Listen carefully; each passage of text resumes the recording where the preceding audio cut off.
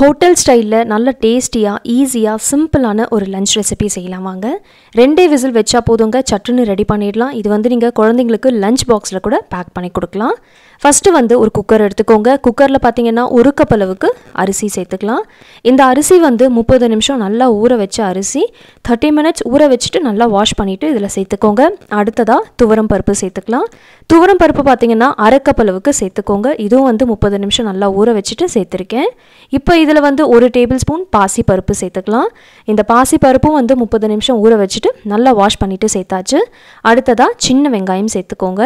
சின்ன வெங்காயம் சேர்க்குறப்ப இந்த சாம்பார் சாதம் வந்து ரொம்ப நல்லாயிருக்கும். ஸோ பத்துலேருந்து பதினஞ்சு சின்ன வெங்காயம் சேர்த்துட்டு இதில் வந்து நம்ம தக்காளி சேர்த்துக்கலாம். ரெண்டு மீடியம் சைஸ் அளவுக்கு தக்காளி எடுத்திருக்கேன். ரஃபாக கட் பண்ணிவிட்டு சேர்த்துருக்கேன். இப்போ இதில் கேரட் அதுக்கப்புறம் பீன்ஸ் சேர்த்துக்கலாம். கேரட் பார்த்தீங்கன்னா ஒரு பெரிய சைஸ் அளவுக்கு கேரட் எடுத்திருக்கேன். இதே போல் கட் பண்ணிவிட்டு சேர்த்துக்கோங்க. மேலே இருக்க தோல் எடுத்துகிட்டு கட் பண்ணிக்கோங்க.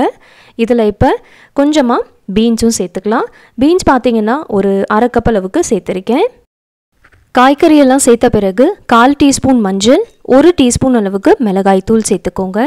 மிளகாய்த்தூள் அதிகமாக சேர்க்காதீங்க. ஒரே ஒரு டீஸ்பூன் சேர்த்துக்கோங்க. இப்போ இதில் ரெண்டு டீஸ்பூன் சாம்பார் தூள் சேர்த்துக்கலாம். ஒரு டீஸ்பூன் மிளகாய்த்தூள் ரெண்டு டீஸ்பூன் சாம்பார் தூள் சேர்த்துருக்கேன்.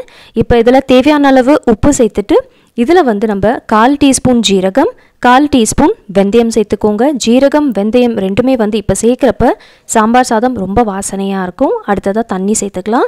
தண்ணி பார்த்தீங்கன்னா அஞ்சு கப் அளவுக்கு சேர்த்துக்கோங்க. எந்த கப்பில் வந்து நம்ம அரிசி மெஷர் பண்ணமோ அதே கப்பில் அஞ்சு கப் அளவுக்கு தண்ணி சேர்த்துட்டு நல்ல ஒரு முறை மிக்ஸ் பண்ணிக்கலாம்.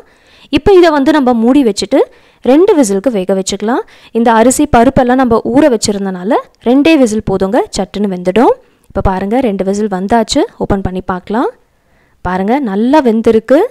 இப்போ ஒரு முறை நல்லா மிக்ஸ் பண்ணிக்கலாம்.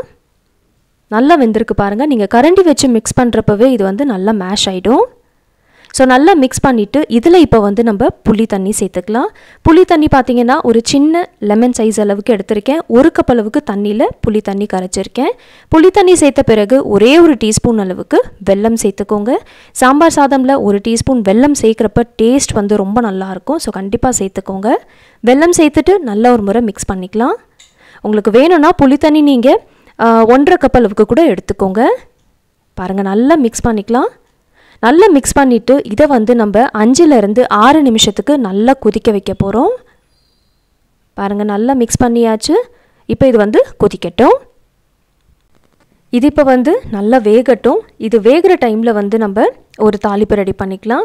இப்போ சாம்பார் சாதத்துக்காக தாளிக்கிறதுக்கு ஒரு சின்ன கடாய் எடுத்துக்கோங்க. ஒரு டேபிள் ஸ்பூன் எண்ணெய் சேர்த்துட்டு அரை டீஸ்பூன் கடுகு அரை டீஸ்பூன் ஜீரகம் கால் டீஸ்பூன் வெந்தயம் இதோட ஒரு டீஸ்பூன் உளுத்தம் பருப்பு ஒரு டீஸ்பூன் அளவுக்கு முழு மிளகு சேர்த்துருக்கேன்.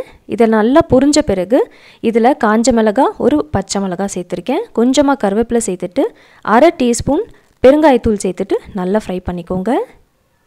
பாருங்கள் நல்லா மிக்ஸ் பண்ணியாச்சு. இப்போ சாம்பார் சாதத்துக்காக நல்ல வாசனையான ஒரு தாளிப்பு ரெடி ஆகிடுச்சு இது இப்போ இருக்கட்டும். இப்போ பார்த்தீங்கன்னா இது வந்து ஒரு ஆறு நிமிஷமாக நல்லா கொதிச்சிட்ருக்கு. பச்சை வாசனை எல்லாம் போயிடுச்சு. நல்லா குழஞ்சிருக்கு பாருங்கள் இப்போ வந்து நம்ம ரெடி பண்ண தாளிப்பு சேர்க்கறதுக்கு முன்னாடி ஒன்றுலேருந்து ரெண்டு டீஸ்பூன் நெய் சேர்த்துட்டு தாளிப்பை சேர்த்துக்கோங்க. ஒரு முறை நல்லா மிக்ஸ் பண்ணிக்கோங்க.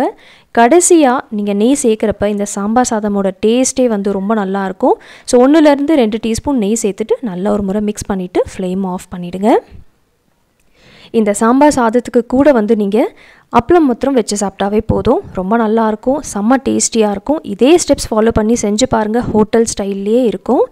ஐ ஹோப் என்னோடய வீடியோ உங்களுக்கு பிடிச்சிருக்கும்னு நினைக்கிறேன். பிடிச்சிருந்தால் மறக்காமல் லைக் அண்ட் ஷேர் பண்ணுங்கள் தேங்க்ஸ் ஃபார் வாட்சிங்